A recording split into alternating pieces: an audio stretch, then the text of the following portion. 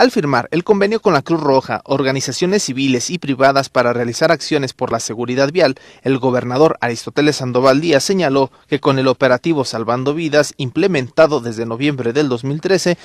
los accidentes viales han disminuido hasta en un 21% en comparación con años anteriores. Reconoció que Jalisco ocupa el primer lugar en muertes por accidentes viales. Indicó que tan solo en el año pasado fallecieron 1.170 personas en percances de este tipo.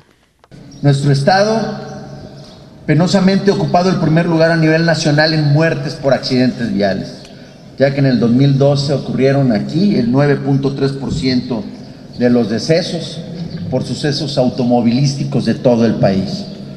Este programa Pilotos por la Seguridad Vial es una excelente iniciativa que impulsa la sana convivencia entre los conductores y los peatones,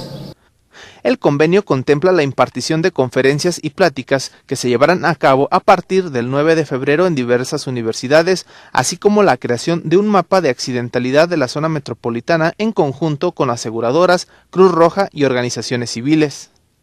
Y por otro lado estamos eh, queremos construir de manera muy rápida el mapa de accidentes porque los seguros tienen una información la Secretaría de Movilidad tiene otra información, la Cruz Roja tiene otra información y la cosa es tener la información de en qué lugares se dan los accidentes para una vez que tengamos este mapa ir definiendo cuáles son las causas de los accidentes. En el evento estuvieron presentes Fernando Suinaga Cárdenas, presidente nacional de la Cruz Roja, así como los pilotos profesionales Sergio Pérez y Luis El Chapulín Díaz, quienes participarán en las conferencias y campañas de concientización vial. Román Ortega, Mega Noticias.